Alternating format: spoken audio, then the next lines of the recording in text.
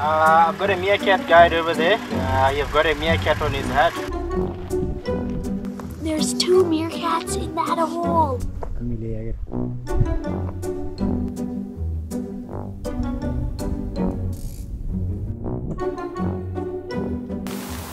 They have to get used to you before they'll climb on you.